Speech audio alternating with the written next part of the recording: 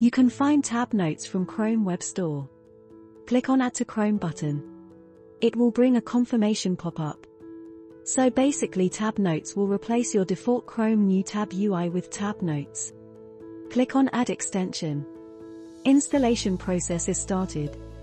Once tab notes installed you will get a confirmation messages like this. Let's try tab notes. Open a new tab. You will see tab note interface. Let's play on tab note. We'll start with typing a H1 heading hello world. We can try some other font styles also. Make try as large. Change some font size to huge. Make font to bold.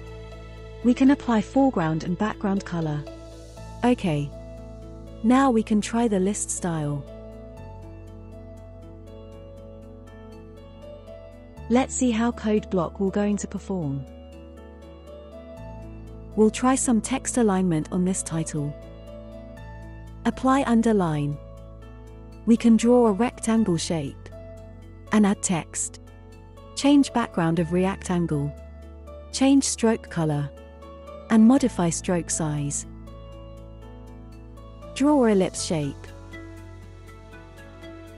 And add a text. We can modify background and stroke color. Now we can draw a arrow to connect these shapes. We can verify these changes are updated on all tabs. Let's try to change the tab notes look and feel by modifying theme. We can even create our own theme. Change tab notes background color. Change text color. That's all. Thank you.